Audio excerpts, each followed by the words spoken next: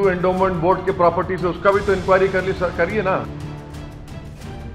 शुरू से कह रहा था आपको कि देखिए, ये मदरसा जो सर्वे कर रहे हैं, इसके पीछे इन लोगों की एक हरकत है, इनका एक साजिश है, एक मंसूबा है।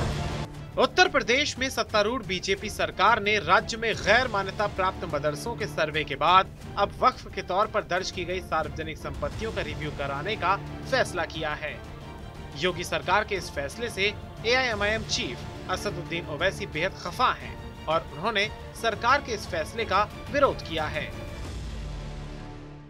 ये पूरी चीज़ें जो हो रही है, ये सिर्फ़ और सिर्फ़ एक तो वक्फ प्रॉपर्टीज़ को यूपी सरकार टारगेट कर रही है और दूसरा ये कि आप वक्फ प्रॉपर्टीज़ को छीनना चाह रहे तीसरा यह है कि आपका सुन्नी वक्फ बोर्ड है, शिया वक्फ बोर्ड है, अगर वक्फ प्रॉपर्टीज़ पर कोई एनक्रोच करा है तो आप उनसे बुलाकर पूछिए, वो आपको दे देंगे।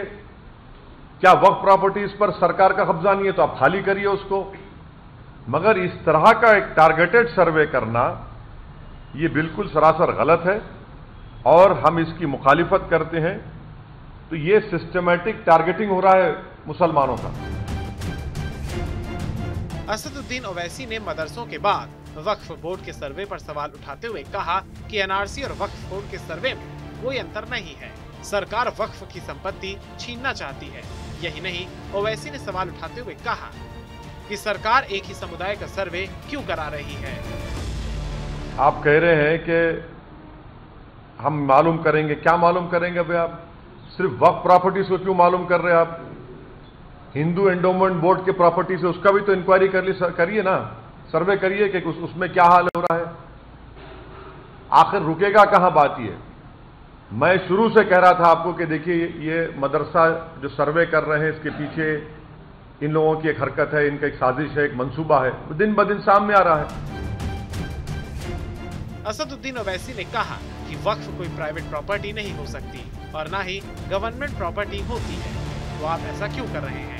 ओवैसी ने आर्टिकल 300 का हवाला देते हुए कहा कि यूपी सरकार आर्टिकल 300 का भी उल्लंघन कर रही है। इसके अलावा ओवैसी ने योगी सरकार को सलाह देते हुए कहा कि अगर किसी ने सरकारी संपत्ति को वक्फ की संपत्ति के रूप में कब्जा कर लिया है तो सरकार को अदालत का रुख करना चाहिए। तो आपको देखना चाहिए ना कि ये वक्फ जो है, वो प्राइवेट प्रॉपर्टी नहीं हो सकती। ना वो गवर्नमेंट प्रॉपर्टी होती है वो। तो आप ये क्यों कर रहे हैं?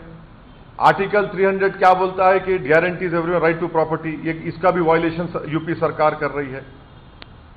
और अगर कोई इलीगल तरीके से उसको गवर्नमेंट प्रॉपर्टी को वक्फ प्रॉपर्टी रजिस्टर कर लिया है तो आप कोर्ट में केस लड़ी ना जाके आप। ट्राइब्यूनल में जाइए आप, जो सेक्शन 83 है वक्फ ट्राइब्यूनल में जाइए। आपको बता दें, योगी सरकार ने वक्फ बोर्ड का तैतीस साल पुराना शासनादेश रद्द कर दिया। सरकारी आदेश के बाद वक्त के नाम पर बंजर, ऊसर भीटा जैसी सार्वजनिक संपत्ति को हथियाने वालों की मनमानी अब नहीं चल पाएगी। प्रदेश की योगी सरकार ने 7 अप्रैल उन्नीस को इस बाबत जारी विवादित शासनादेश को निरस्त कर दिया है। यही नहीं 7 अप्रैल उन्नीस के बाद वक्फ संपत्ति के रूप में दर्ज सभी मामलों का पुनर्परीक्षण भी करवाया जाएगा।